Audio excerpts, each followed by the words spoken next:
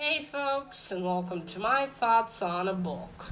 And today's book is The Wizards of Once.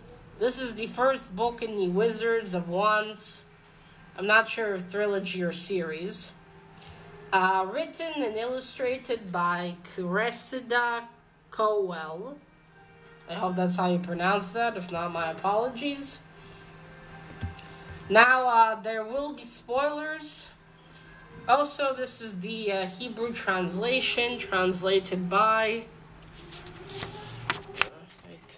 by Yael Achmon. I will leave that, as usual, in the description down below. Alright, so this is actually a fantasy series by the lady who wrote uh, How to Train Your Dragon, which I didn't even know was first books. I really want to read that. Also, I think this lady's not, uh, you know, uh, uh born somewhere with the. Anyway, I, the, the books aren't originally in English, I'm pretty sure. Yeah, I, I think they're not even originally in English.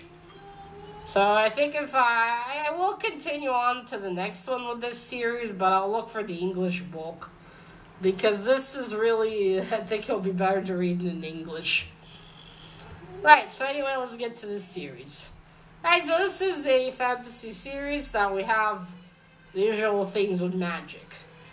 Now we have two main camps in the story. We have the warriors and we'll call them the magicians since uh, again this is the Hebrew translation, so I'm not sure. So the magicians and the uh, warriors are uh, in, in fighting. The warriors want to destroy, you know, all the all magic creatures because thousands of years, uh, not thousands, hundreds of years ago when they fir- years ago when they first came to the land where they are, there were uh, wizards. Now the wizards are very very evil, nasty creatures. And uh, supposedly hundreds of years ago, the um, I think it was both the warriors and the and the magicians defeated them. But since then, the warriors got very, you know, hateful and fearful and suspicious of magic.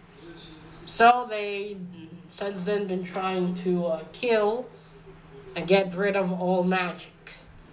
Now we go forward uh, these few uh, hundreds of years to our time now, and supposedly the magicians, you know, again, they don't no longer exist. Now, on the same night, we have two children, one child of each camp. Now, from the warrior camp, we have uh, her. Her name's actually Wish, which, which I thought might not be. So it's uh, her name is Wish. She's a princess. She's the daughter of the Queen of Warriors, a very tough and uh, cunning queen. Now she finds them. Uh, I'm just gonna call it a spoon. I didn't check what that word is in English. I mean, it's a spoon, but it has a different name. I don't know. So anyway, the spoon. She finds a magic spoon and also a magical sword that her mother had in her possession. Somehow came to Wish. Now Wish wants to take the uh, the spoon to the forest so it will be safe because if her mother finds it, She'll take it down below and take away the spoon's magic. She has a special stone that sucks the magic out of magical things and creatures. So she goes out with the assistant to the bodyguard. Uh, Budkin, he's uh, about her age. And he's supposed to watch her and, uh, you know, make sure not no harm comes to her. And he's also, it's, it's kind of like Double D from Ed, Edd and Eddy. With the nervousness for rules and uh, fainting. Uh, fainting, I mean. So they go out, you know, he doesn't have a choice. He has to follow the princess wherever she goes. So they manage to get out of the fortress, which, well, it's, it's a hard fortress to get into, but somehow they managed to get out. Now, that same night, we have the child from the second, from the magician camp. Uh, Xar? I, I don't know, it's X-A-R. I hope that's how you pronounce that. We have Xar. Now, he's the son of the leader of the magicians. And his father is a great and powerful magician. Now, Xar hasn't yet had his powers. He's 13, but his powers have not yet come about. And he's a very, he's a very energetic, he's, he's this energetic, very arrogant, you know, full of himself kind of, kind of boy. And he's, he's not very happy, and his brother is making fun of him. You know, how brothers are in these books.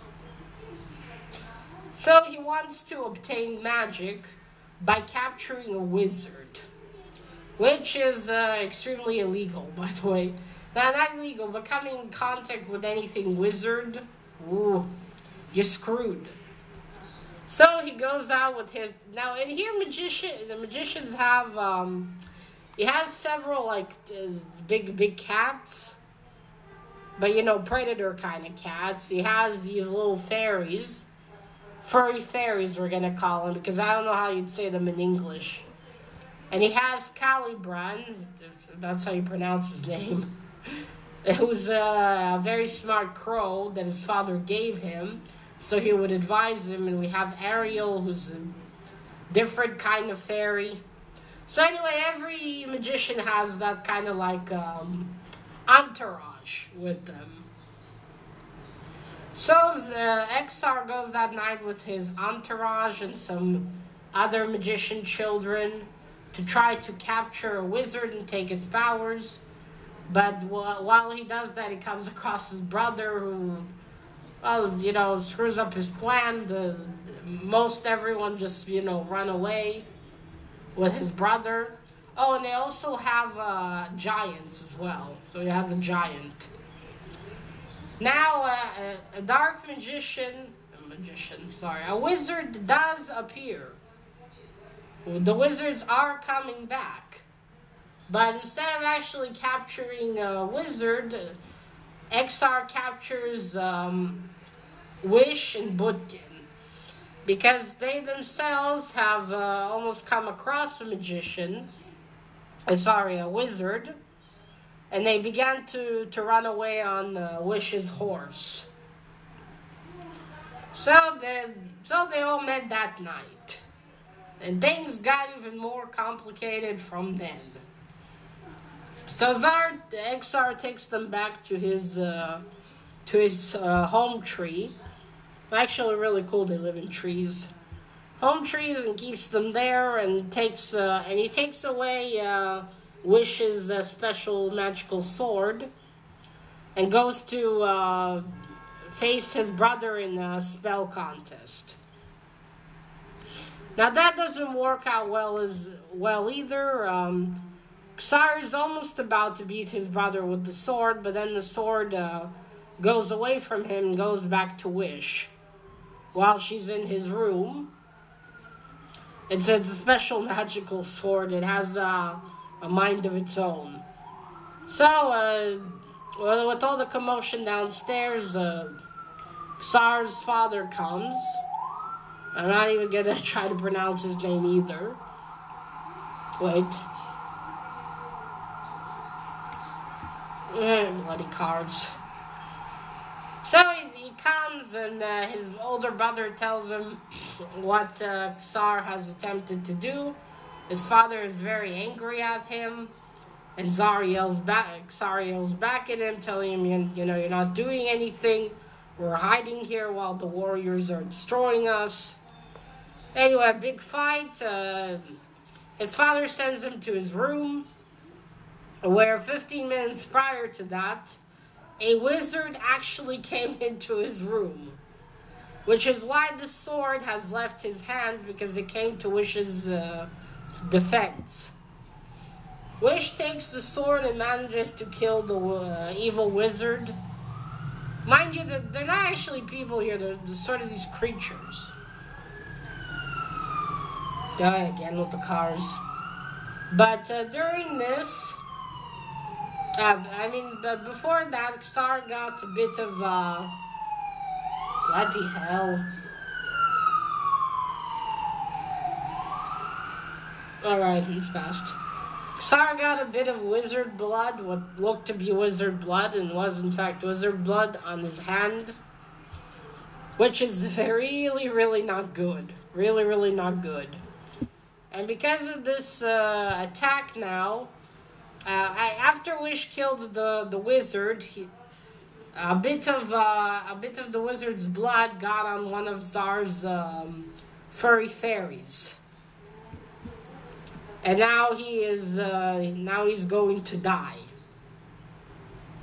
Now, uh, straight after all that happens, the moment where uh, Exar is thrown into his room, and he gets told all that.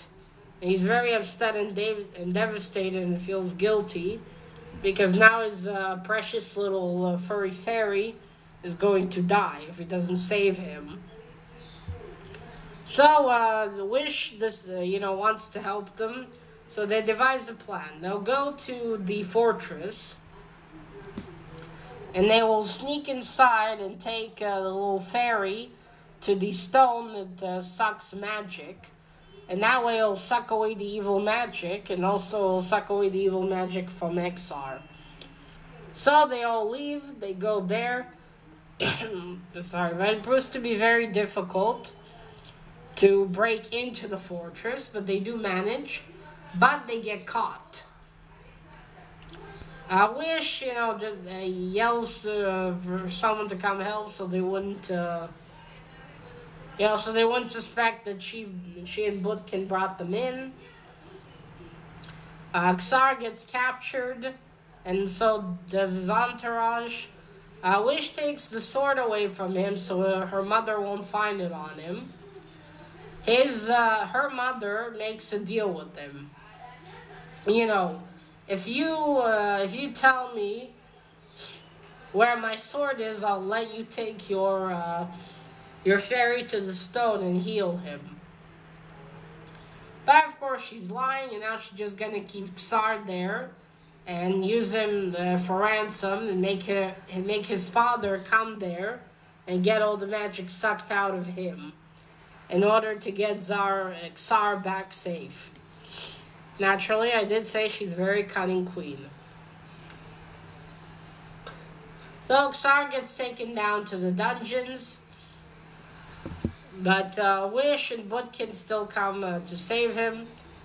Uh, Wish has a conversation with her mother, during which the key, her mother's key to the dungeon, mysteriously gets untied from her skirts, and Wish takes it. So they go down, they help Zara uh, get out of there. But he actually, the queen comes to him one last time, you know, to ask him if he still wants to make a deal before it's too late. And uh, Xar uh, tells her, you know, get in. Prior to that, Butkin and Wish have released his animals. so now he has, uh, now the queen can't do anything because she came there by herself. Nazar Xar tells her, you know, if you uh, if you tell me the secret password to the secret way out of here, apparently the queen has a secret way out of the fortress. She has heads of people and creatures there. She has magical books. It's a whole lot of interesting stuff. So uh, uh, gets her to give him all that and give her give him her cape as well, and then he gets out of there without the intention of actually giving her the sword.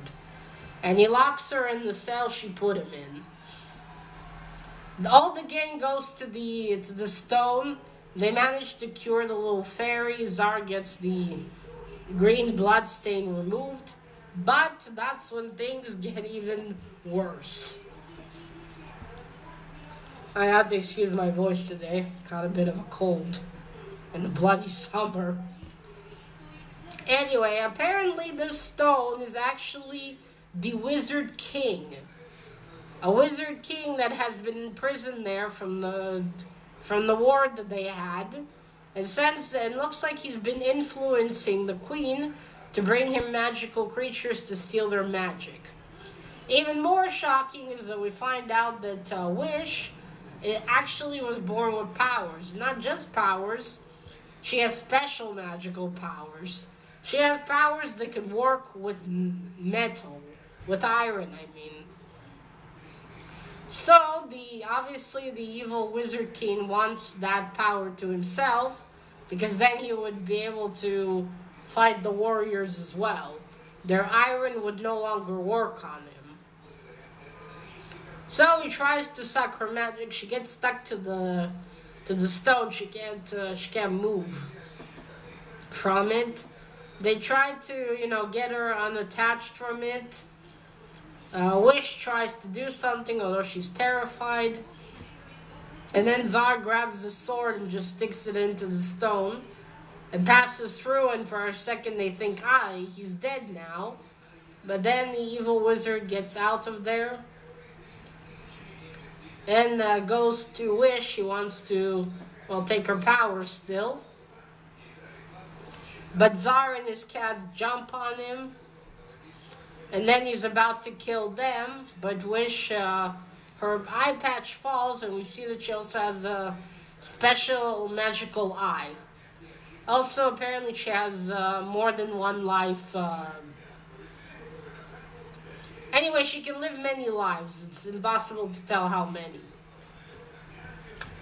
So, uh, Wish um, uh, the, uses her eye somehow and kills the uh, evil wizard king. but before they can rejoice, it looks like uh, the king also killed Wish herself, but then suddenly Wish reappears. She's okay again, more or less, after you've been disintegrated. And then the gang all uh, leave the, uh, well, not all of them, Anyway, they all collect themselves. Xar releases the rest of the creatures that are down there that the queen has has been catching over the years. And they all uh, together go through the secret passage. They say goodbye to Wish and Budkin. Brown the Crow, uh, you know, warns her, you know, you need to hide your magic. Here, take Xar's spell book. You need to learn things. So they leave. They leave Zara pretend Xar pretends to be uh, queen, uh, the queen, and he's believed. It looks like the queen gets out a lot with magical creatures because the guards that guard this door don't find that strange at all. Very curious. So Xar leaves, goes back home. His dad's happy to see him, but you know they'll still have a talk about everything that happened. And it looks like Xar still kept some of the powers of that um, wizard's blood. Which the crow is very upset about. Poor Caliban. He's stuck with him until he learns to be a good boy. That'll take a long time.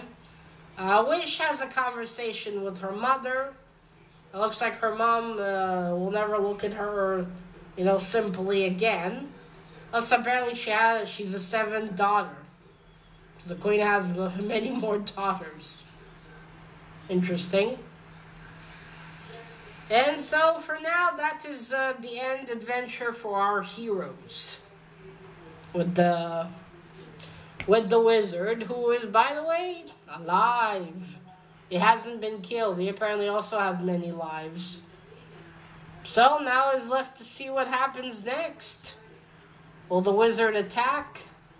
What is he planning? What will the children do? Oops, sorry about that. Yeah, so that is uh, that is our story. It was it was quite good. This is actually one of those books that I've been stuck on for a while, but I finally got through it. But yeah, overall, this was uh, this is a pretty good fantasy story. I like the thing with the magicians, with the whole entourages and stuff. Uh, the Warriors was pretty nice as well. Uh, I do like Wish. He seems like a fun character. Um, Xar is uh, definitely interesting. Again with the cars. Definitely interesting. And, and I gotta say, I love the cover here. I love how purple it is. It's really, really is beautiful. I just love this shade. Alright, and well, this video's been long, but I'll show you some of the illustrations. We got these. Okay, so this is Wish, and this is Xar. Check out that hair. Oh, and here's some of the uh, fairies. This is Ariel. I really like this drawing of Ariel. I like some of the drawings here more, and some I liked a lot less. So there we are. So yeah, this is, this is a nice series uh, to read. This Caliban. Look at him. Yeah, I'd say this is a nice series if you like fantasy. I'll look at the wolves. Oh yeah, he has wolves as well. Oh yeah, a nice, uh, nice fantasy series. I will uh, be continuing to the that's Xar Xar's brother. I will be continuing on with the next book, but we'll see when. I'm not in a hurry to read this one, but I did like it. Oh, there's the magical spoon. Right there.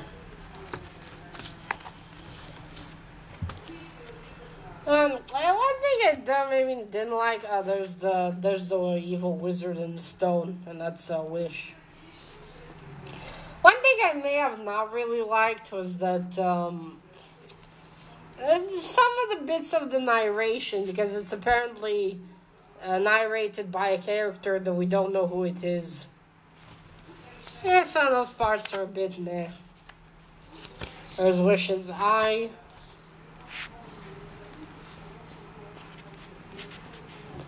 Oh, let me see if I can find that. Uh...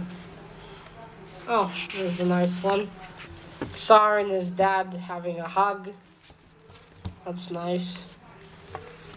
So yeah, if you like fantasy, I would recommend you give this a try. Or uh, if you've read uh, maybe other books of hers, uh, give this a try. I definitely want to try uh, How to Train Your Dragon, but in English. I'll definitely find that one in English. Alright, so that is it, folks. So let me know if you've heard about this one, if you read any of her books. Until next time, bye.